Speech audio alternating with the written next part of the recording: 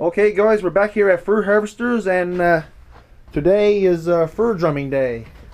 And as you can see there's uh, there's quite a bit of fur coming in. And today Jim's going to show us the steps and procedures in drumming fur. So take it away Jim.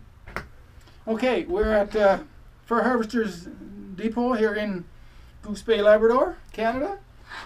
And we're going to drum these uh, pine marten uh, in this fur drum before they go to auction. So they'll be already cleaned and they're already ticketed. So when they get at auction, they can go straight to the grader's table. What we're going to use to uh, grade these skins with, uh, excuse me, drum these skins, is a combination of corn grit, corn grit. We've got uh, clean, clean sawdust from a uh, from a Wood-Mizer bandsaw that has been sifted and dried, and we've also got the uh, hardwood sawdust.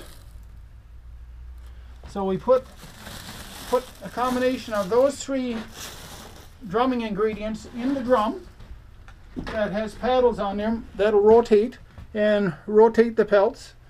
And we can't just drum it in dry coal sawdust. We have to warm that sawdust up and the way to warm that sawdust up we add hot water and as a degreaser and a lusterizer we put in this uh, this uh, Everglaze from a, a furrier in the United States and this uh, cleans and glazes your fur, restores the natural oil. Uh, it adds color depth, separates each hair. The left, the leather is left soft and pliable, and adds nice color depth and uh, a nice shine to the fur. We only put this stuff on the pine marten because the pine marten are our most valuable fur here in Labrador, so we save it and and just use it on the pine marten. So the first thing we do is to put the combination I won't tell you my secret formula, the, the, the, the, how much of each we use, but we've got hot water here, and this will, with the glaze already mixed, we'll pour that in the drum, because we have to warm up that sawdust.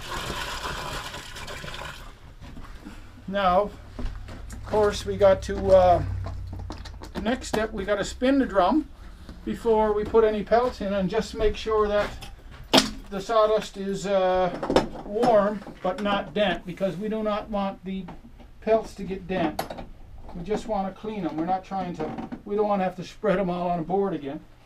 So we're going to spin this for a bit and watch it spin and we'll be back in a minute.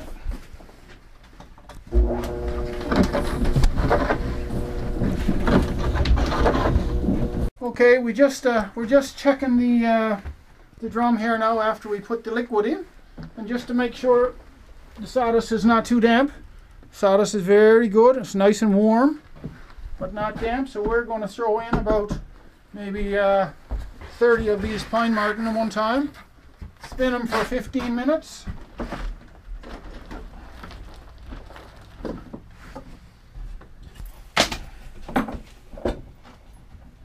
Make sure the cover the door don't come off. Boy, they're going to look great. They're going to look super. I don't know of anyone else that does this, but uh, we do it here, and I think the trappers really appreciate it. Because a lot of times that, uh, you know, trappers usually get this little gu small gum specks on your pine marten and, and little matted matted specks on your marten. And they're always they're always asking me whether they should try to, uh, you know, pick it out themselves or or cut it out and I said no let's just put it in the drum because a lot of the times in this drum these little these little mats uh, will start to loosen up. And when I put it on the table here and run a uh, one of these slicker brushes through it they'll just come right out. And you wouldn't even tell that the mat was even there. So uh, we're gonna we're gonna give it a whirl. Now and see what happens.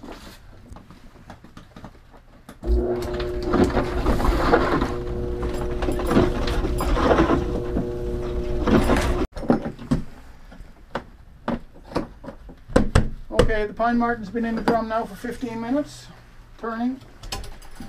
We're going to take them. I mean, already say nothing, but We're going to take them out and uh, see how they look. I generally uh, wear a mask because of the dust when I'm shaking, but just for uh, video purposes here right now, I'll, I'll leave the mask off my face so it's easier to talk.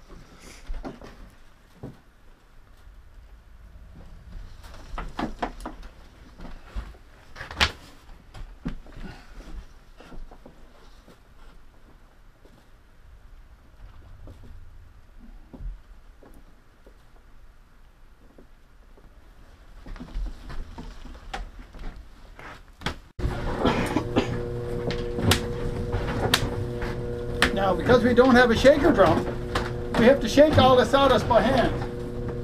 And that means uh, pretty time consuming.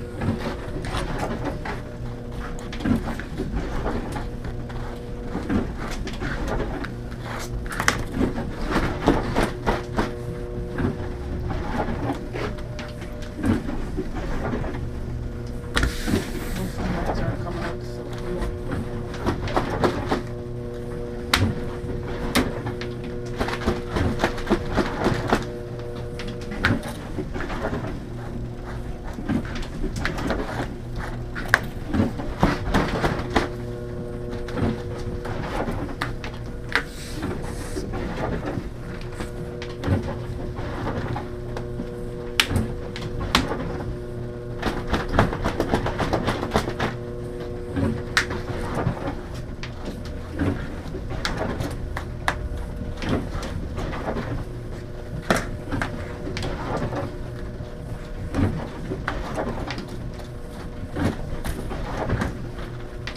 I don't know if you noticed it or not, but that little gum speck that was right here just crystallized. As soon as I put the brush on it, just crystallized. I guess I guess from the heat of the drum and stuff, that was gone. Can't see it anymore. Perfect. Now the uh, the grader don't have to make a judgment call anymore. It's, it's gone. Wouldn't get service like that only by, I guess, only by someone foolish not foolish like me to, to do all this. But uh, uh, here's another gum gum speck. Gone, crystallized, gone. But if it, you know, if it, if it increases the value of the pine marten for the trapper, uh, it's better for the trapper. Of course, I work on commission. The more the trapper gets for his fur, of course, the more uh, me as the agent will get because I receive a, just a small percentage. But uh, you know, I'm not I'm not do, doing this for my health. There's a method to my madness. I mean, if a guy can get a $130 average as opposed to say a $110 average, well, worth it to me. And everybody's happy.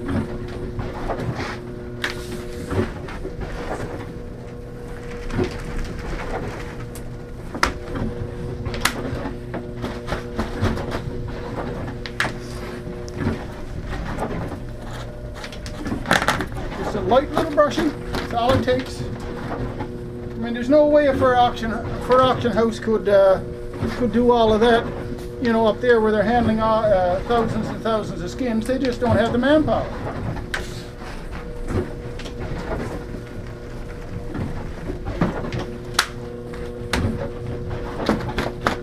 Now I've got the time and I enjoy working with fur, so I can make them look beautiful, I will. Name of the game.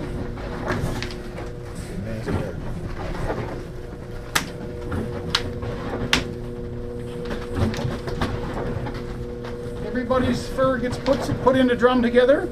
They all got the barcode. If I wanted to know who owned that skin, I'd just go over and look in my logbook, and I could see see the trapper that owned that skin, and I could say, "Wow, you got a beautiful skin." And here we have a few more little. Gone, disappeared. Brushes right out.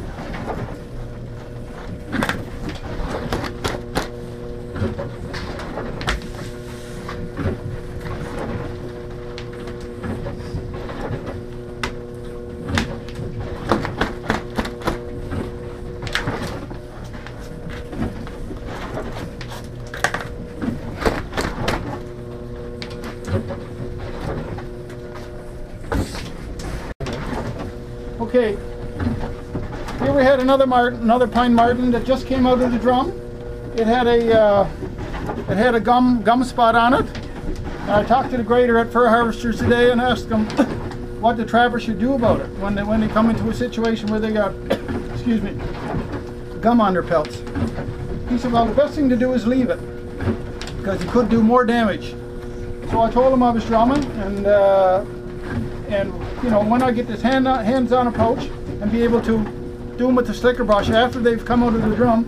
I said a lot of times, uh, you know, these these these mats will come out without pulling any fur. They'll just disintegrate.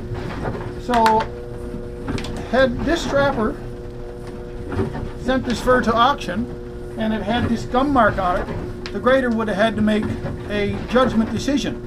Let's say it was a, uh, let's say for instance it was a select pelt. If it had the gum mark on, mark on you probably would have had to degrade it, put it down to the next pelt, but uh, next uh, next grade. But by running this brush through them after they come out of the drum, which can't be done, done at auction, of course, like I told you before, they're just too many pelts. They, they don't have the manpower to do that. I, I, I, I managed to save the trapper. Uh, instead of this pelt going down to the next grade, it's, it's, uh, it's boosted up to its original grade, which, oh, in my estimation here, was probably a, uh, well, wouldn't be select, but probably a first second. So, I hope he appreciates all the work I'm putting into it.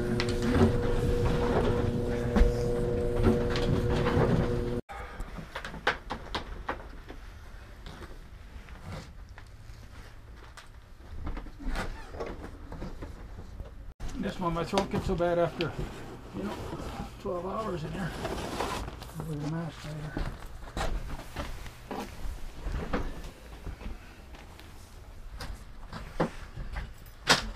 just uh, just drummed up the Big Lands Trappers uh, uh, fall marten catch. This last one. Overall, the average is very, very good. Pelts look really good.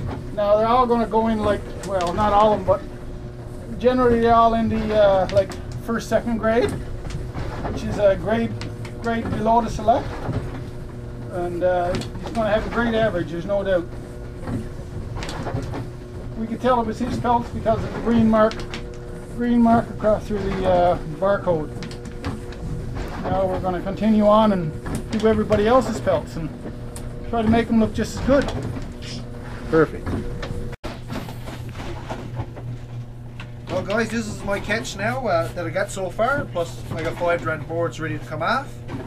And uh, I want to give a big thank you to Jim because I know that uh, with Jim handling my fur, I'm going to get the best possible return. And uh, you're looking at one happy trapper because that's just awesome.